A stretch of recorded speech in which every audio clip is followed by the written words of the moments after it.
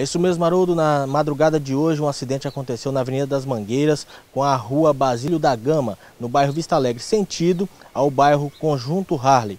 Nessa ocasião, uma mulher que trafegava nessa motocicleta Honda Bis de cor preta, ela acabou perdendo o controle do veículo ao passar por um quebra-molas. Nessa ocasião, o veículo teve diversas avarias, ela diversos ferimentos.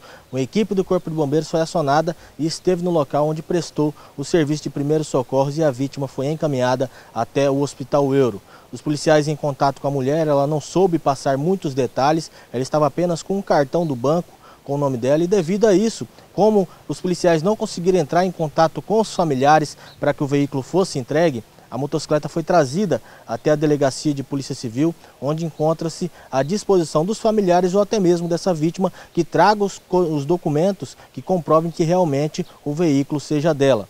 Infelizmente, nos últimos dias, diversos acidentes como esse têm acontecido no município de Cacoal e são acidentes que realmente entram para as estatísticas. Esse foi apenas um acidente que a pessoa teve ferimentos leves, porém tem outros acidentes acontecendo no município que os ferimentos são muito mais graves. As imagens são de Guilherme Ribeiro, Jefferson Santos, para o jornalismo da TV Suruí.